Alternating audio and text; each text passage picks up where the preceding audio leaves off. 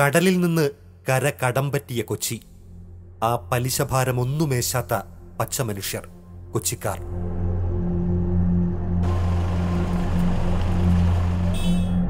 അവരുടെ ചൊടിയും ചുരുക്കുമുള്ള നാട്ടുതാളത്തിൽ പിച്ചവച്ച ഒരു പഴയ ബാല്യം. അതു പിന്നെ പോഞ്ഞിക്കരയിൽ നിന്ന് വടുതലയും പച്ചാളവും വഴി കേരളക്കരയിലേക്ക് പടർന്നു വീശി. ചൂരും നേരുമുള്ള കടൽക്കാറ്റായി.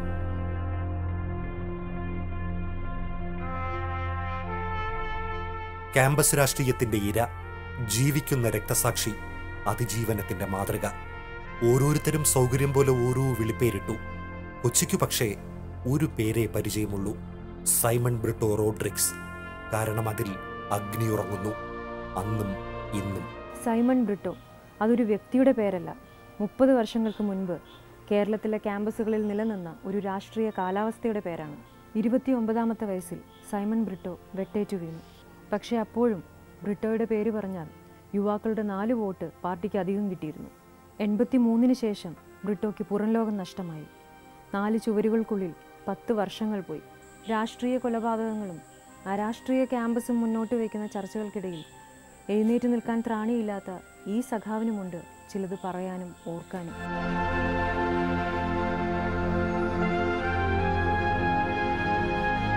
ക്രിസ്തീയ ആചാരാനുഷ്ഠാന പ്രകാരം പിറന്നു വീണത് പോഞ്ഞിക്കരയിലാണെങ്കിലും പിന്നീട് വടുതലയിലേക്ക് വരികയാണുണ്ടായത് അതിരുകളില്ലാത്ത അന്നത്തെ ആ നഗരപ്രാന്തമാണെങ്കിലുമുള്ള ഗ്രാമാന്തരീക്ഷം.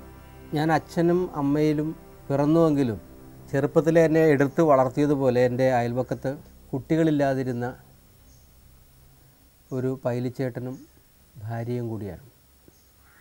ഞാൻ അവരുടെ ആ കാലഘട്ടത്തിലൊക്കെ അപ്പ അമ്മ എന്നാണ് വിളിച്ചിരുന്നത്. എന്റെ ഫാദർ ഒരു ഫാക്ടറി തൊഴിലാളിയായിരുന്നു. വീട്ടിൽ അച്ഛനും അമ്മയും അപ്പൂപ്പനും അമ്മൂമ്മയും പിന്നെ അച്ഛന്റെ സഹോദരിമാരും മൂന്ന് നാല് പേര് ഇങ്ങനെയുള്ള ഒരു കുടുംബം. അന്ന് ബീഡ് നിറപ്പ് അത് കടയുണ്ടെങ്കിൽ കടയുടെ അവിടെ ഇരുന്നുണ്ടാണ് വരാന്തിലിരുന്നുകൊണ്ടാണ് അന്ന് വീട് തീർക്കുന്ന ഒരു അവസ്നൂട്ടി ചേട്ടൻ വരുമായിരുന്നു അയാൾക്കും മക്കളില്ല. അവരും എന്റെ മകനെ പോലെയാണ് അവർ കണക്കാക്കുന്നത്. നല്ല മനുഷ്യനായിരുന്നു. മരിക്കുമ്പോൾ അവരങ്ങനെ തന്നെയായിരുന്നു.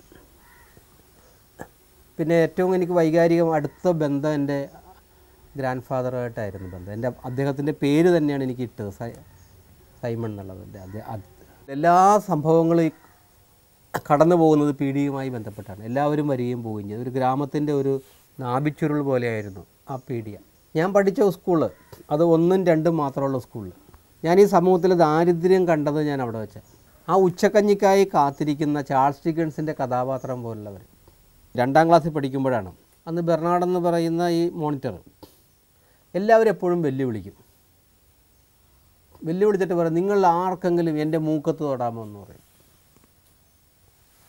അപ്പോൾ ആരും തൊടൂല്ല. അങ്ങനെ കുറേ പറഞ്ഞു പറഞ്ഞു കഴിഞ്ഞപ്പോൾ എന്നെ എല്ലാവരും വെല്ലുവിളിച്ച് എന്റെ അടുത്ത് വെല്ലുവിളിച്ചപ്പോൾ ഞാൻ പോയിട്ട് മൂക്കത്ത് പോട്ട് പിന്നെ ഇടിയാണ് ഞാൻ ഓടി.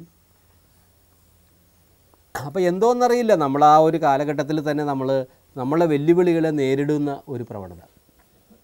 ഇതുപോലെ അതിനുശേഷം മൂന്നും നാലും പഠിച്ചത് വേറൊരു സ്കൂളിലാണ് തട്ട് ഒരു മുക്കാൽ കിലോമീറ്ററുള്ള പള്ളി സ്കൂളിൽ അവിടെ ഇതുപോലെ തന്നെ ജനാർദ്ദൻ എന്നും പറഞ്ഞൊരു കഥാപാത്രം. അവൻ എല്ലാവരും കേടിയാണ് എല്ലാവരും വെല്ലുവിളിക്കുക എന്നെയും വെല്ലുവിളിച്ചു. നമ്മൾ അവനുമായിട്ട് അടിയുണ്ടാക്കി നമ്മൾ പോകുന്നുണ്ട്.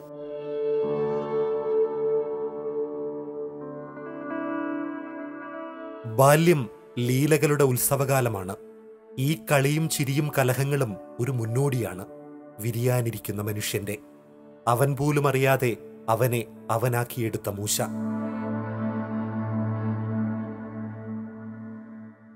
ഓർമ്മക്കണ്ണിലൂടെ ബ്രിട്ടോ അക്കാലത്തേക്ക് വീണ്ടും ഒരു യാത്ര പോയി. ഏഴു വർഷം മുൻപ്.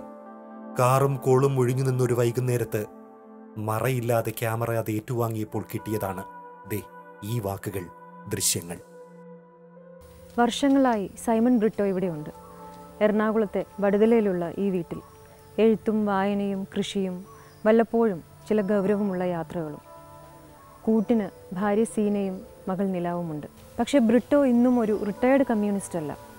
സായുധ വിപ്ലവവും ആത്മീയതയും പാർലമെന്ററി വ്യാമോഹങ്ങളും ഒന്നുമല്ലാതെ ഒരു ഇടതുപക്ഷ സഹചാരിക്ക് ഏർപ്പെടാൻ കൊള്ളാവുന്ന പലതും ഈ നാട്ടിലുണ്ട് എന്ന് ബ്രിട്ടോ തെളിയിക്കുന്നു. ഇടതുപക്ഷ പ്രസ്ഥാനങ്ങൾ കേരളമെമ്പാടും വെല്ലുവിളികൾ നേരിടുമ്പോൾ ഒരു ശരിയായ സഖാവ് പാർട്ടി ക്ലാസ്സുകളിൽ കേൾക്കാത്ത ചിലത് പറയുകയാണ്.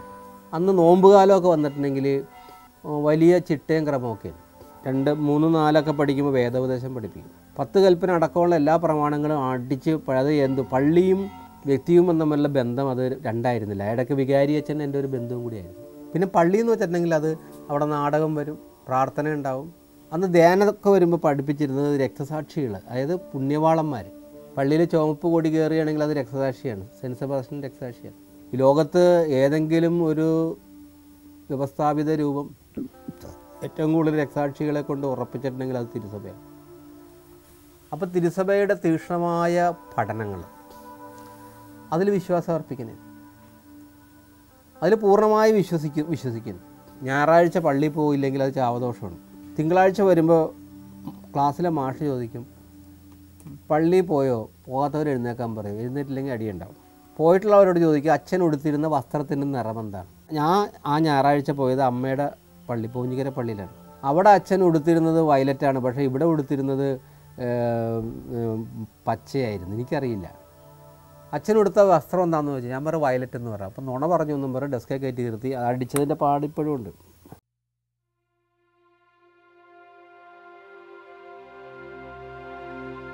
ചുകചുകപ്പൻ സ്വർഗരാജ്യത്തെ സുവിശേഷങ്ങൾ കേരളത്തിൽ മലയടിച്ചിരുന്ന കാലം. ആ പ്രലോഭനക്കാറ്റിനെ പേടിച്ച ദൈവരാജ്യത്തിന്റെ സുവിശേഷകർ ഈ സംഘർഷമേറ്റുവാങ്ങിയ പാവം ബാലമനസ്സുകൾ എന്തു ചെയ്യും? റഷ്യയ്ക്ക് മാനസാന്തരമുണ്ടാവാൻ മുട്ടിപ്പായി പ്രാർത്ഥിക്കുക അത്ര തന്നെ. ചെറുപ്പത്തിലെ രാഷ്ട്രീയമായിട്ട് ഞാൻ അറിയുന്ന ഒരു കാര്യം എടപ്പള്ളി പോലീസ് സ്റ്റേഷൻ ആക്രമണം പിന്നെ പള്ളിയിൽ എന്ന് പറയുന്നുണ്ട് റഷ്യൻ തരം മാനസാന്തരത്തിന് വേണ്ടി പ്രാർത്ഥിക്കുന്നു? അന്ന് ഈ ഒന്നിനും രണ്ടിലൊക്കെ പഠിക്കുന്ന ഞങ്ങളെ മുട്ടുകുത്ത് ആ വീട്ടിൽ പോയി കടാവളക്കന്റെ മുമ്പിൽ നിന്ന് ഒരു പ്രാർത്ഥന ഉണ്ട് റഷ്യേന്തര റഷ്യയുടെ മാനസാന്തരത്തിന് വേണ്ടി. അപ്പോൾ എന്താ റഷ്യയിൽ കമ്മ്യൂണിസ്റ്റുകാരാണ് അന്ന് പഠിപ്പിച്ചൊരു കഥയുണ്ട്. ഈ കമ്മ്യൂണിസ്റ്റുകാർക്ക് വിശ്വാസമില്ല. അപ്പോൾ ഈ തിരുവോസ്തിയുണ്ട്. തിരുവോസ്തി എന്ന് വെച്ചിട്ടുണ്ടെങ്കിൽ അത് ഒടിച്ചു കഴിഞ്ഞാൽ ചോര വരും. അപ്പോൾ കമ്മ്യൂണിസ്റ്റുകാർക്ക് ഇതൊന്നും പരീക്ഷിക്കണം. ഒരു സ്ത്രീയെ പണം കൊടുത്ത് വശത്താക്കി ആ സ്ത്രീയോട് പറഞ്ഞ് നാവിൽ വെച്ച് വരുമ്പോൾ ആ ഓസ്തി കൊണ്ടുവന്ന് ഞങ്ങൾക്ക് തരണം. അങ്ങനെ പാർട്ടി ബ്രാഞ്ചുകാർ കൂടിയിരുന്നുകൊണ്ട് തിരുവോസ്തി സ്ത്രീ എടുത്ത് മടക്കിയെടുത്ത് കക്ഷത്ത് വെച്ച്. പലരും ചെറുതായിട്ട് ചോര വരാൻ തുടങ്ങി എന്താണെന്ന് വെച്ചപ്പോൾ അത് കുരുവാണ് വേഗം കൊണ്ടുവന്ന് ഈ സ്ത്രീ കൊണ്ടുവന്ന് പാർട്ടിക്കാർക്ക് കൊടുത്തു. അവരത് കൊണ്ടുവന്ന് വെച്ച് പതുക്കെ മുറിക്കാൻ തുടങ്ങുമ്പോൾ ചോര ഇങ്ങനെ കൂടുതൽ വരാൻ തുടങ്ങി. വേഗം ആ ബെഡ്ഷീറ്റിൽ പൊതിഞ്ഞ് അവർ പാടത്ത് കൊണ്ടുപോയി കുഴി കുത്തി അവിടെ കുഴിച്ചിട്ട്. പിറ്റേ ദിവസം ആടിനുമായിട്ട് ഒരു ആട്ടിടയം വന്നപ്പോൾ ആടുകളൊന്നും എല്ലാം മുട്ടുകുത്തി അവിടെ നിൽക്കണം ഒരു ഓസ്തി മുകളിൽ നിൽക്കുന്നുണ്ട്. അവിടെ തന്നെ അച്ഛനോട് പറഞ്ഞ് ബിഷപ്പ് വന്ന് കാസ കൊണ്ടുവന്ന് ഓസ്തി അതിലാക്കി തിരിച്ചു വന്നു. അപ്പോൾ അതെല്ലാം ഞാൻ വിശ്വസിച്ചു. എന്റെ ഭൗതികമായ ചുറ്റുപാട് മുഴുവൻ ഇങ്ങനെയല്ലേ? രണ്ടാമതെന്ന് വെച്ചിട്ടുണ്ടെങ്കിൽ അന്ന് ഉണ ഉണക്കമാസം ഒന്നുണ്ട്. അതിന് ഉണക്കമാസം എന്ന് എല്ലാവരും പറയുന്നത്. അതിലൊരു ഉണക്കമാസം വെച്ചിട്ടുണ്ടെങ്കിൽ വെന്തിങ് എന്നൊരു സാധനമുണ്ട്. കപ്പലിൽ കപ്പിത്താന്മാരിങ്ങനെ പോകുമ്പോൾ കപ്പി വിശ്വാസിയായ ഒരു കപ്പിത്താനുണ്ടായിരുന്നു കടൽക്കൊള്ളക്കാർ വന്നു വെടിവെച്ച്. അപ്പോൾ വെടി ഈ വെന്തിങ്ങമ്മയെ കൊണ്ട്. അവൾക്ക് ഒന്നും പറ്റിയില്ല. അപ്പോൾ വേണ്ട അതുപോലെ നിങ്ങളും വെന്തിങ്ങ ഇരിക്കണം നന്ന ചെറുപ്പത്തിൽ സൊഡാലിറ്റിയിലും ലീജിയനിലൊക്കെ ഞാൻ പോകുമായിരുന്നു പള്ളിയിൽ ആദ്യമായിട്ട് എന്നെ ആദ്യമായിട്ട് വിദ്യാർത്ഥി പ്രസ്ഥാനം ഉണ്ടാക്കുന്ന പള്ളിയിലാണ്. കാത്തലിക് സ്റ്റുഡൻസ് ലീഗ് എന്നും പറഞ്ഞു. അതാണ് പള്ളിയാണ് ഒരു വലിയൊരു നമ്മുടെ ഒരു ആ കാലഘട്ടത്തിന്റെ ഒരു സ്വപ്നങ്ങൾ അല്ലെങ്കിൽ നമ്മുടെ ഭാവനകൾ അല്ലെങ്കിൽ നമ്മുടെ ഉം, വ- വരും കാലങ്ങളുടെ പാന്താവുകൾ ഒരുക്കി അതിന്റെ ഒരു ചുറ്റുവട്ടം എന്ന് വെച്ചിട്ടുണ്ടെങ്കിൽ ഈ പള്ളിയും ഈ ഗ്രാമാന്തരീക്ഷവും ഈ നാട്ടിലുള്ള മനുഷ്യരും ഒക്കെ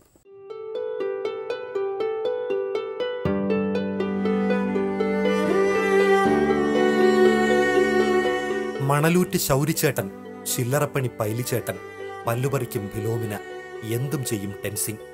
വട്ടമിട്ട് ഉണ്ണിയും ബെർണാഡും അങ്ങനെ എത്രയെത്ര പച്ചജീവിതങ്ങൾ.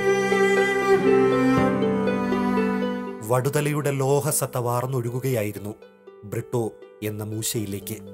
ഈ ഞങ്ങളുടെ പ്രദേശത്തെക്കുറിച്ച് പറയുമ്പോൾ തെമ്മാടികളുടെ സ്ഥലം എന്നാണ് പറയുന്നത്. പണ്ട് ഇവിടെ നിന്ന് കൊച്ചിയിലേക്ക് ചരക്കം കയറ്റി പോകുമ്പോൾ ആ വള്ളക്കാരെല്ലാം പിടിച്ച് അവരെല്ലാം ആക്രമിച്ച് അവരുടെ സാധനങ്ങളൊക്കെ എടുത്ത് പിന്നെ എവിടെയെങ്കിലും തല്ലിന് പോയി. ഈ തല്ലും ബഹളമാണെങ്കിൽ എല്ലാവരുമായിട്ട് വളരെ വളരെ അടുത്ത ബന്ധമാണ്. അത് ഇവരെല്ലാം കൂട്ടി കിടക്കുന്ന മുഖ്യ കണ്ണി പള്ളി. അപ്പോൾ ഒരു ആ കാലഘട്ടത്തിലൊരു അതിന്റെ ഒരു കൂട്ടായ്മ എന്ന് പറയുന്ന ഒരു ബോധം അറിയാണ്ട് നമ്മളിലേക്ക് വരുന്നു. തീക്ഷ്ണമായ മതബന്ധം തീക്ഷ്ണമായ ഈ വിശുദ്ധന്മാരുമായിട്ടുള്ള ബന്ധം തീക്ഷ്ണമായ കുടുംബ ബന്ധങ്ങൾ ഒരു ആംഗ്ലോ ഇന്ത്യൻ കമ്മ്യൂണിറ്റി എന്ന നിലയ്ക്ക് ചെറുപ്പത്തിൽ ഷൂ നിർബന്ധമാണ്. ആംഗ്ലോ ഇന്ത്യൻ കല്യാണങ്ങൾക്ക് പോയിട്ടെങ്കിൽ ചെറുപ്പം ഓർമ്മ വെക്കുന്നതിന് തൊട്ട് ആ നന്ന ചെറുപ്പമായിരിക്കുമ്പോൾ തന്നെ കത്തി മുള്ളു വെച്ച് ഭക്ഷണം കഴിക്കാൻ പഠിക്കുന്നുണ്ട്. അന്ന് എവിടെയെങ്കിലും ഒരു മരിപ്പ് ബന്ധുക്കളുണ്ടായിട്ടെങ്കിൽ തലേ ദിവസം പോകണം അല്ലെങ്കിൽ രണ്ട് ദിവസം മുമ്പ് പോകണം അത് ദൂരത്താണെങ്കിൽ അവിടെ പോയി താമസിക്കണം. അങ്ങനെയൊക്കെയുള്ള ഒരുപാട് എന്റെ വീട്ടിലൊരു പണിക്കാരനായിരുന്നു പാഞ്ഞമൂപ്പൻ അയാൾ കമ്മ്യൂണിസ്റ്റുകാരനായിരുന്നു. ഈ പാഞ്ഞമൂപ്പൻ ഏത് പ്രകടനത്തിന് മുമ്പിൽ ചെങ്കൊടി പിടിക്കുന്ന പാഞ്ഞമൂപ്പന് കാലം ശോഷിപ്പിച്ച് കളഞ്ഞതും നഷ്ടപ്പെടുത്തി കളഞ്ഞതും അങ്ങനെയുള്ള ബന്ധങ്ങളെയാണ്.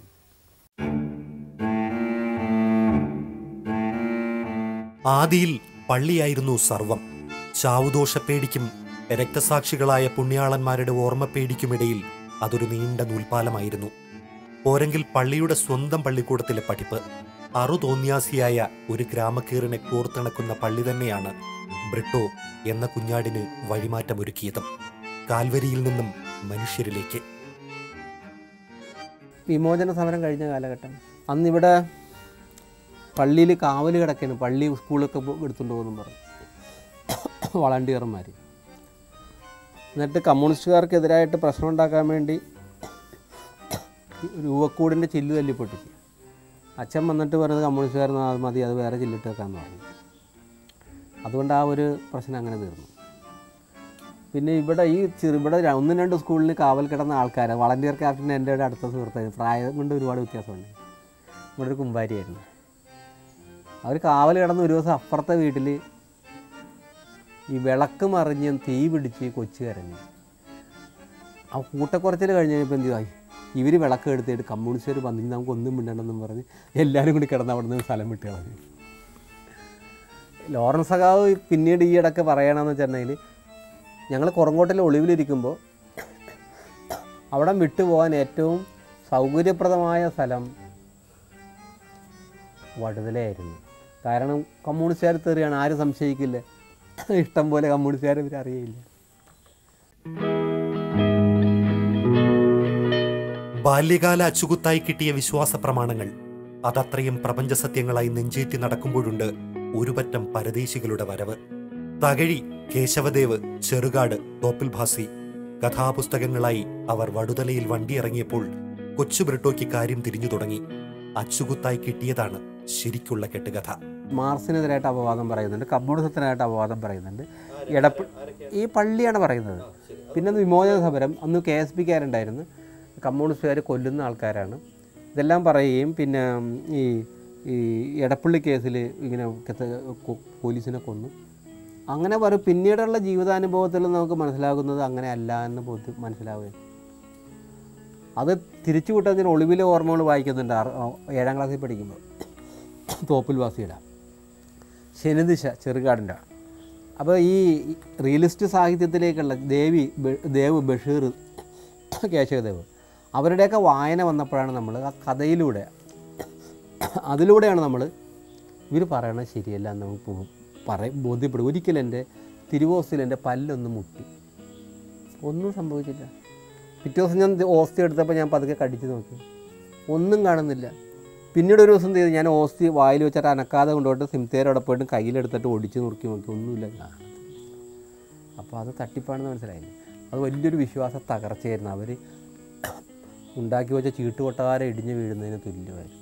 ശങ്ങമ്പുഴ തൊട്ടടുത്താണ് ഇടപ്പള്ളിയിൽ ഒരു തങ്കപ്പായി എന്ന് പറയുന്ന ആളുണ്ടായിരുന്നു. അയാൾ ചങ്ങമ്പുഴയുടെ പാട്ട് ഈ കവിത പാടി. വെറുതെ അന്ന് ഈ ആൾക്കാർ ഇതിലേ പോകുമ്പോൾ സിഗരറ്റൊക്കെ വലിക്കുന്ന ആൾക്കാരാണ് സിഗരറ്റ് വലിച്ചു. പാട്ട് മൂളി പാട്ട് ഉറക്കെ പാടിപ്പോകും. ചെറുപ്പം മുതൽ അന്ന് മുതലേ ഉള്ള ഏറ്റവും അടുത്ത ഒരു എന്റെ സുഹൃത്താണ് ഉണ്ണി.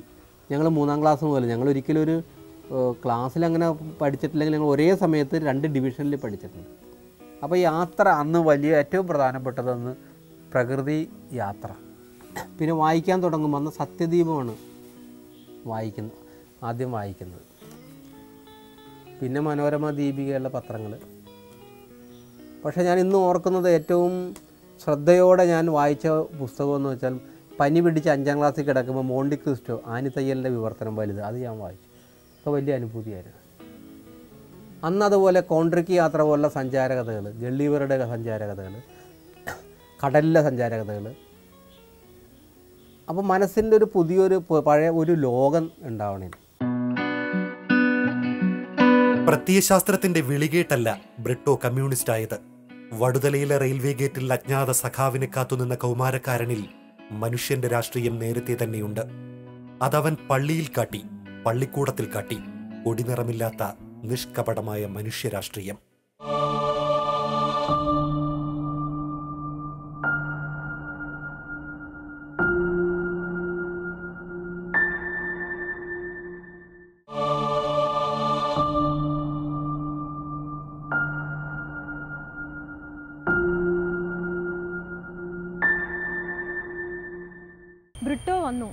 ക്യാമ്പസിലേക്ക്. പഴയ ഒരു കാലം തിരികെ വന്ന പോലെ കുട്ടികൾ ആ വരവ് കണ്ടു നിന്നു. എന്റെ കഥ ഞാൻ എങ്ങനെ പറയും? ആ വിപ്ലവ യുക്തി ബ്രിട്ടോയിൽ ഇടയ്ക്കിടെ തലനീട്ടി. ക്യാമ്പസിലെ ആ നിമിഷങ്ങളിൽ ബ്രിട്ടോ ഏറെക്കുറെ നിശബ്ദനായിരുന്നു. ചിലയിടങ്ങളിൽ എത്തുമ്പോൾ ഓർമ്മ വന്നത് മാത്രം പറഞ്ഞു. ആരെങ്കിലും എന്നെ പാർട്ടിയിലേക്ക് വിളിച്ചുകൊണ്ട് പോവുകയല്ല. ഞാൻ സ്കൂളിൽ പഠിക്കുമ്പോഴാണ്. അറുപത്തെട്ട് അറു എട്ടാം ക്ലാസ് ഒമ്പതാം ക്ലാസ്സിൽ പഠിക്കുമ്പോൾ. അതിൽ ഞാൻ ക്ലാസ്സിലെ റെപ്രസെന്റേറ്റീവായിട്ട് അന്നൊരു കക്ഷിരാഷ്ട്രീയമൊന്നുമില്ല തിരഞ്ഞെടുത്തു. തിരഞ്ഞെടുപ്പോൾ നമ്മൾ പറഞ്ഞ അങ്ങനെ കക്ഷി രാഷ്ട്രീയമൊന്നും ഇവിടെ കൊണ്ടുവരേണ്ട ആവശ്യമില്ല എന്നുള്ളൊരു നിലപാടായിരുന്നു എനിക്കുണ്ടായിരുന്നു പക്ഷേ ആ അവസരത്തിലാണ് അറുപത്തൊമ്പതിൽ കെ എസ് യു എന്ന് പറയുന്ന സംഘടനയ്ക്ക് രൂപം കൊടുത്തു. അപ്പോൾ നമ്മൾ പറഞ്ഞിട്ട് അവർ അന്ന് തന്നെ സ്കൂളിൽ മതലയിൽ എഴുതി മുഴുവനും നീലം കൊണ്ട് എഴുതി. അപ്പോൾ അത് നമുക്ക് ഇഷ്ടപ്പെട്ടു. പുതിയ കെട്ടറ വരുന്നു ഹെഡ് മാഷിനോടൊക്കെ പരാതി പറഞ്ഞത് ശരിയല്ല.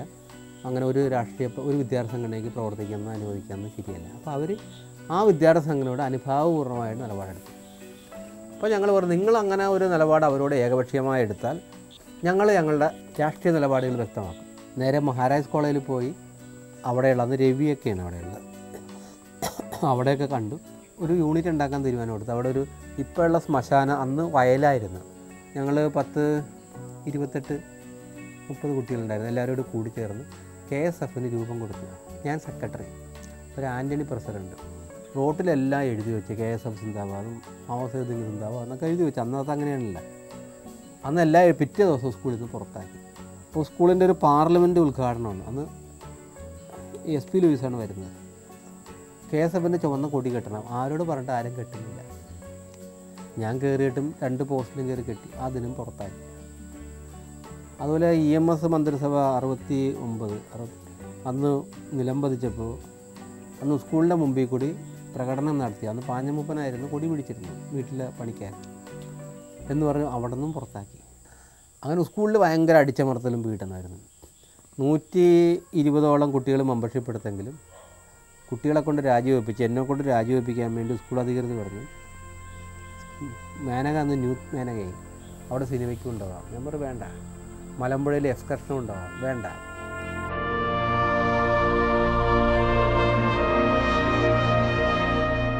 സൈമൺ ബ്രിട്ടോ ഒരു വിപ്ലവകാരിയായിരുന്നില്ല. എന്നാൽ മനുഷ്യനായിരിക്കുക എന്നത് വിപ്ലവകരമായൊരു അധ്വാനമായിരിക്കുന്ന ഇക്കാലത്ത് അയാൾ ദീപ്തമായൊരു മനുഷ്യ സാന്നിധ്യമായിരുന്നു.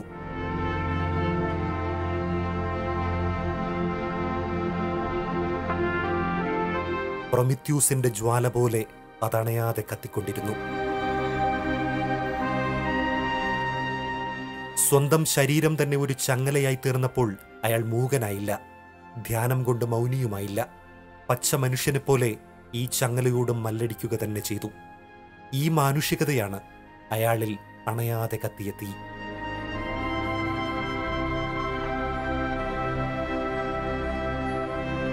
ആദ്യമായിട്ട് വിദ്യാർത്ഥി സമരത്തിൽ പങ്കെടുക്കുന്ന ഏഴാം ക്ലാസ്സിൽ പഠിക്കുമ്പോൾ അന്ന് ലിസി എന്ന് പറയുന്ന കുട്ടിയെ കൊന്നു. ഉമ്മൻചാണ്ടിയാണ് കെ എസ് യുവിന്റെ പ്രസിഡന്റ്.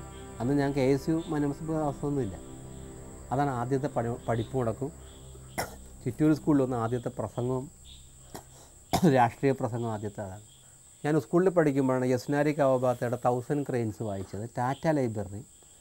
പിന്നെ എട്ടാം ക്ലാസ്സിൽ വന്നു കഴിഞ്ഞപ്പോഴാണ് ഞാൻ വേറൊരാളുടെ പേരിൽ ചിറ്റൂർ ഗ്രാമീണ ലൈബ്രറിയിൽ പുസ്തകങ്ങൾ എടുക്കും. അയാളുടെ പേരിൽ ഞാൻ പോയി എടുക്കും. പത്താം ക്ലാസ് പരീക്ഷ കഴിയുമ്പോൾ മലയാളം അന്ന് വരെ ഇറങ്ങിയിട്ടുള്ള നോവൽ സാഹിത്യത്തിൽ മിക്കവാറും എല്ലാം ഞാൻ വായിച്ചു കഴിഞ്ഞിരുന്നു.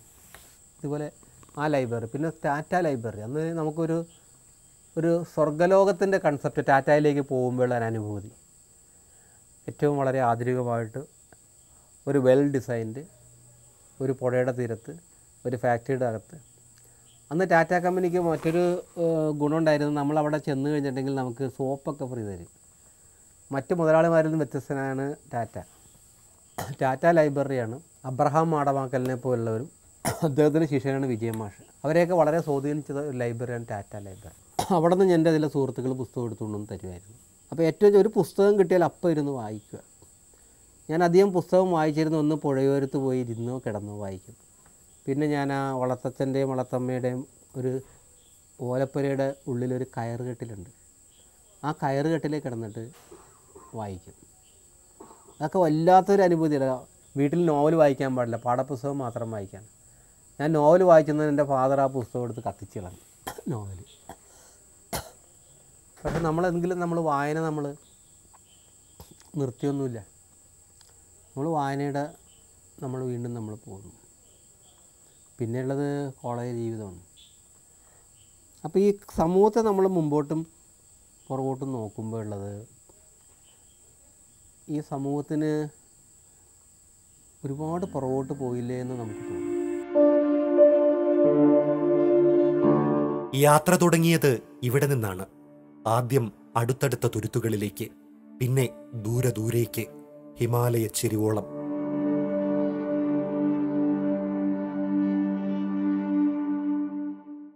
മടക്കമില്ലാത്ത അവസാന യാത്രയും ഇവിടെ നിന്നു തന്നെ. എല്ലാം കണ്ട ഈ അഴിമുഖം മൗനമായി മന്ത്രിക്കും. ദേ ഇവിടെ ഒരു മനുഷ്യൻ വന്നുപോയി. കൊച്ചു കൊച്ചൊരു വലിയ ബ്രിട്ടോ.